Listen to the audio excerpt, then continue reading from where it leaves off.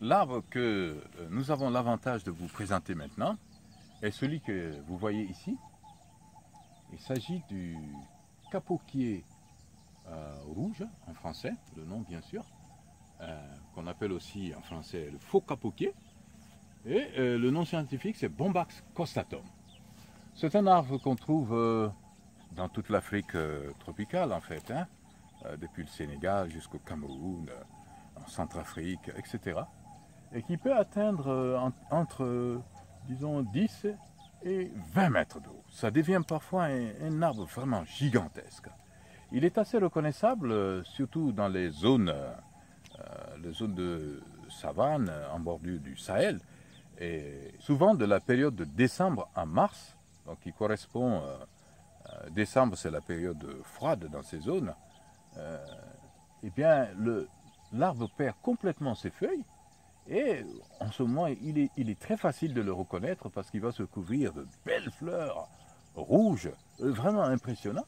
Hein, euh, quand on regarde ces fleurs, on voit que le calice, euh, qui est rouge, est très charnu, tandis que les pétales dans la, corolle sont également d'un rouge, c'est un rouge vermilion, assez attirant.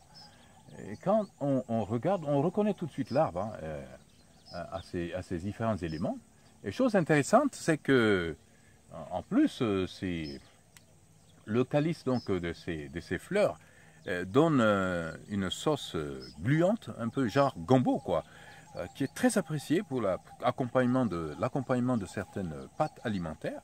Et c'est pour ça que les populations l'apprécient beaucoup. Donc nous allons parler de cet arbre en particulier. On peut voir là son tronc. Hein. Hein, le tronc du Bambax costatum, qui est très crevassé. Hein. Euh, euh, on voit vraiment des, euh, ce qu'on pourrait appeler des écailles énormes, qui ressemblent à des dents, aux écailles sur le dos d'un crocodile. En fait, quand on voit un tronc de cet arbre coupé et jeté sur l'eau, on, peut prendre peur. Hein. On, peut, avoir l'impression d'avoir affaire à un crocodile la couleur du tronc, on peut voir ici. Euh, celui-là n'est pas épineux, mais euh, très souvent on va trouver des arbres. D'ailleurs, on peut voir là. Hein, il y a des épines. Là. Là. Donc le tronc va parfois euh, être couvert, hein, en plus de ces écailles qui forment les crevasses que nous voyons, il va être couvert d'énormes épines. Donc je suis en train de tapoter là, mais le plus souvent je ne pourrais pas faire ça. Et ces épines vont se retrouver également sur les jeunes branches on peut voir que la couleur ici est gris foncé, gris sombre, hein, euh, tendant vers le noir même parfois. Et ces, écailles sont assez solidement fixées à l'arbre. C'est pas facile à détacher du tout. Hein. Voilà, je peux pousser comme je veux et ça ne s'en détache pas. Alors, pour décrire les feuilles du Bombax costatum, euh, j'ai euh, coupé là un rameau et on peut voir la disposition des feuilles là-dessus. Hein. C'est alterné. C'est pas du tout opposé. Hein. Les attaches par les pétioles, là, on voit que c'est alterné. Et bien, avec au sommet du pétiole un groupe hein, qui forme une sorte de bouquet. Et on peut voir que ce sont des feuilles euh, composées, qui peuvent avoir euh, entre, bon ici il y a quatre, quatre folioles, euh, mais on peut compter jusqu'à 6 ici, parfois jusqu'à 7 folioles hein, sur cette feuille. On peut voir par exemple combien de folioles. Hein, 1, 2, 3, 4, 5, 6, 7. Donc euh, on va dire 4 à 7 folioles. Le pétiole est très long. Hein. On peut voir ici euh, combien? Jusqu'à jusqu'à 13 cm de longueur de pétiole. Et c'est assez remarquable aussi que le pétiole est un peu enflé sur sa partie qui rattache à, la tige et un peu enflé aussi sur sa partie euh, euh, qui, euh, qui, porte les folioles, hein, en haut ici. Alors, sur les jeunes feuilles, d'ailleurs, on peut voir une sorte de pubescence, on ne peut pas bien remarquer ça ici, mais à la base là, un peu de poils. Hein. les feuilles elles-mêmes, les folioles, on va dire, on peut les voir ici, hein. Si on prend euh, disons, euh, cette feuille-là, on voit que les folioles sont disposées d'une manière digitée, on dit, c'est-à-dire comme les doigts de la main, c'est éparpillé autour d'un centre commun, comme les doigts de la main, on dit que c'est des feuilles digitées. Et puis, euh, on peut voir les dimensions hein, de chaque foliole là. Par exemple, si je prends cette grande foliole, on a jusqu'à, disons, en gros 5 cm hein, de large sur, euh, sur combien? Sur jusqu'à, on va dire, euh, jusqu'à 12 cm de long. les, les, les, folioles sont des formes obovales, on dit parce qu'il y a une forme ovale, qui est là, mais en réalité, dans le tiers supérieur, c'est un peu élargi là-bas. Et c'est terminé euh, de, de, façon très pointue vers le haut et pointue euh, vers le bas. Alors, quand on regarde les, nervures, hein, on voit qu'il y a quoi? Combien de paires de nervures? 1, 2, 3, 4, 5, 6, 7, 8, 9, 9 à 10 paires de, nervures secondaires. La nervure euh, principale euh, sur la face supérieure de la feuille est plus visible, naturellement, beaucoup plus visible que les nervures secondaires. Et c'est au dos que... Euh, au dos, quand on regarde, on aurait pu s'attendre à avoir des nervures en relief, hein, nettement en relief par rapport à, la, par rapport à la face supérieure, mais il n'en est rien en fait. Hein. même si on peut déceler clairement les nervures, c'est pas vraiment en relief, hein, et la visibilité aussi, euh, euh, on, va dire, aussi intense sur la face supérieure que sur la face inférieure. Euh, par contre, quand on regarde les couleurs, on voit que le vert est foncé sur la face supérieure qui regarde vers le ciel, tandis qu'il est un tout petit peu plus clair au dos de la feuille. Alors, oui, le limbe lui-même relativement charnu, hein, bien qu'on ne puisse pas dire que c'est très coriace, il y a des feuilles qui sont beaucoup plus euh, charnu que ça. On peut voir les pétiolules, c'est-à-dire la, partie euh, qui rattache donc euh, sur le qui rattache la foliole sur le pétiole, c'est très très court, c'est de l'ordre de combien? Un demi un demi centimètre quoi, c'est-à-dire 5 mm. Alors on voit là un pied de capoquier hein, qui semble complètement défeuillé, il a perdu toutes ses feuilles. Par contre, on voit les boutons de fleurs qui sont là. Et ça, c'est la période, enfin une des périodes en tout cas les plus précieuses pour les populations en ce qui concerne le capoquier rouge. Pourquoi nous disons cela? Eh bien parce que si vous regardez donc, je vais abaisser ce rameau, les boutons de fleurs sont là. Déjà à ce stade, les boutons sont assez développés pour pouvoir être utilisé dans les sauces. Et là, on voit, je peux donner euh, ces espèces de, euh, comment dire, ces espèces de dômes. Hein. Euh, je peux donner les dimensions. Le diamètre là, pour celui-là, c'est combien? Un centimètre et demi. Hein, sur une longueur de, on va dire, disons, jusqu'à un centimètre et demi aussi. Un pédoncule assez charnu finalement de 1 centimètre, 10 mm. Et euh, donc à ce stade déjà, on voit euh, la partie euh, qui va former les, disons, les sépales, là, ça, tout autour, la partie verdâtre, composée donc des éléments de sépales, et elle forme une sorte de masse continue. En fait, ça c'est la partie charnue qui intéresse les populations pour la cuisine. Alors, au fur et à mesure que la fleur se développe, sur le capoquet rouge donc, eh bien, ça va s'épanouir et nous obtenons ce belle fleur que l'on voit ici. là, j'ai coupé un élément. Alors, c'est tellement important, tellement impressionnant, que surtout à cette période, euh, on voit l'arbre qui est entièrement euh, recouvert de ces fleurs plutôt. Hein, et donc, ça, c'est des fleurs avec euh, ici les sépales, hein, du moins c'est les pétales, qui ont une couleur rougeâtre, parfois c'est un peu orange. Hein, qui sont très larges, qui débordent largement sur en ce moment les éléments de, de sépales.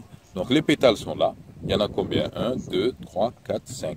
Et étroitement entourés par cette masse continue, donc euh, hein, une masse continue, une, une, jupe. En fait, ça ne se sépare pas en éléments qui constituent en fait euh, euh, les, les, les, sépales. les sépales, ou encore plus exactement, donc le calice. Alors, Euh, donc quand on regarde, on peut donner une dimension hein, de la, des pétales euh, qui sont ouvertes et séparées.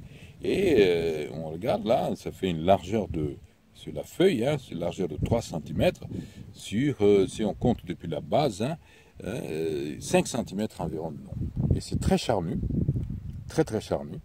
Et à l'intérieur, on voit le pistil qui est là. Donc, euh, donc l'élément femelle, entouré de nombreuses étamines, c'est très visible sur toutes les fleurs. Et en fait, il y a au moins une centaine d'étamines qui sont là, qui vont euh, provoquer donc la fécondation de la partie femelle qui est là, donc euh, le pistil avec à sa base l'ovaire. Et ça, ça va donner un peu plus tard les fruits. Mais c'est très intéressant, comme nous avons dit, que c'est surtout, surtout, disons, le calice qui est là, hein, le calice qui est là, hein, que les, les, gens vont récupérer, donc en coupant, hein, les, disons, les, pétales qui sont à l'intérieur, en enlevant comme ça. Et on enlève ça surtout frais, euh, parce que quand ça sèche, la séparation devient plus difficile, plus compliquée. Donc cette masse charnue du calice est récupérée en faisant ça, en détachant carrément, littéralement, donc euh, les, euh, les étamines, tout ce qui est organes de fleurs à l'intérieur. Et donc, euh, c'est cette masse charnue de, du calice qui est comestible et qui est très très très très visqueux. Hein. aussi, sinon même plus visqueux que le gombo. On voit là, hein, quand je touche, euh, on voit là, euh, c'est gluant. Hein. et donc ça, ça donne une sauce très très appréciée qui est utilisée pour accompagner le gâteau local connu euh, plus spécialement sous, le nom de dos. On regarde ce côté gluant, c'est collant là, n'est-ce pas hein? donc ça, c'est énormément apprécié et très très vendu sur le marché. On se demanderait pourquoi on ne ferait pas une grande plantation de capotiers rouges et on pourrait vendre pour beaucoup d'argent de ces fleurs. Et cela contribuerait à la préservation, à la conservation de cet arbre qu'est euh, le Bombax costatum. Pour euh, montrer les fruits du, décrit plutôt les fruits du capoquier. Euh, nous avons choisi ce pied, on peut le voir maintenant. Voilà, euh, qui est pratiquement complètement défeuillé, mais on voit encore des restes de fleurs, hein. et aussi les fruits. Hein. Euh, justement, les fruits, on va les décrire un peu plus près. J'en ai fait descendre ici deux. Ça se présente sous forme de gousses en fait, hein, qui ont une forme, ça ce sont les fruits, ça c'est la fleur, Hein, bien entendu, qui devient le fruit plus tard. Et donc, euh, c'est des, gousses d'une forme plutôt elliptique, hein, avec, euh, disons, des, lignes, hein, de, lignes de qui ne sont pas encore séparées, mais euh, on peut en compter déjà le nombre à partir du sommet ici. Là, 1, 2, 3, 4, 5. Et en fait, le, le fruit va s'ouvrir suivant ces lignes quand ça va arriver à maturité. Actuellement, il a une couleur euh, verte, mais à maturité, il va prendre une couleur brune qui va tourner vers le noirâtre. Et euh, les dimensions sont quoi? On a les dimensions presque finales ici. Hein.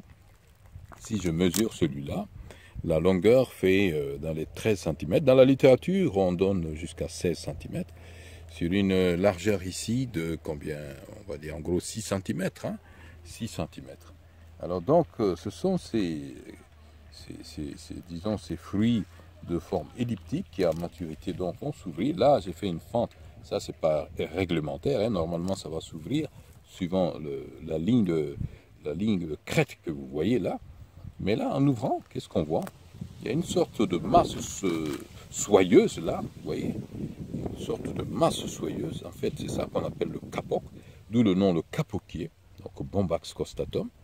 Et les graines ne sont pas matures ici, sinon à maturité, eh bien ces graines deviennent noirâtres. Et donc on a cette masse soyeuse. Ça peut d'ailleurs sortir hein, et le vent peut l'emporter avec les graines. Et cette masse est utilisée pour la, en, matelaterie par exemple, pour faire des matelas ou pour faire des coussins. Et c'est très doux.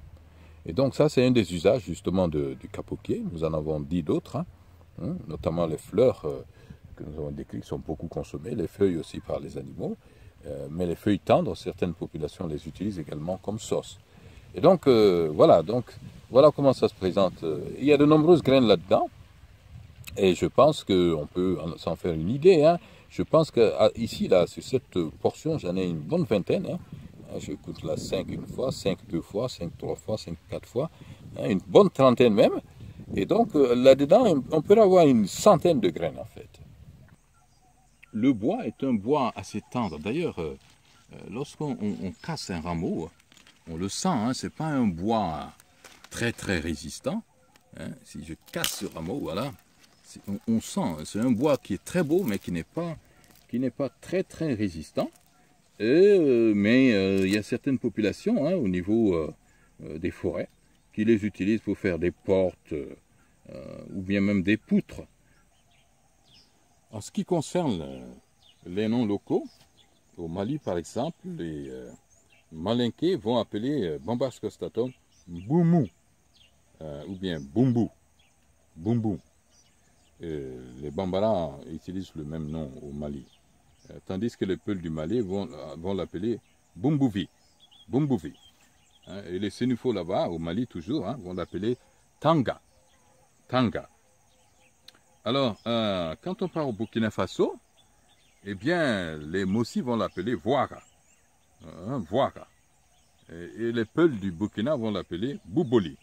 Eh bien, les, les Djula l'appellent aussi Bumbu. tandis qu'au Bénin, les Bariba vont l'appeler euh, euh, ou bien Gouma. Euh, et toujours au Bénin, en fond, on va l'appeler Huntin, ou Tarago. Eh bien, en Guinée, les Malinqués vont l'appeler aussi Bumbu, Bumbu. Tandis que les Peuls l'appelleront là-bas Lukung, Lukung en Guinée. Maintenant, au Niger, en, Hausa, on dira Kuria, Kuria, en Zarma, Forogo, Forogo.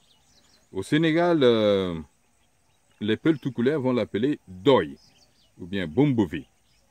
Euh, tandis que les Wolofs vont l'appeler Dundul ou bien Garab Laoube. Garab Laoube. Euh, au Togo, les Éveillés vont l'appeler Houti. Houti.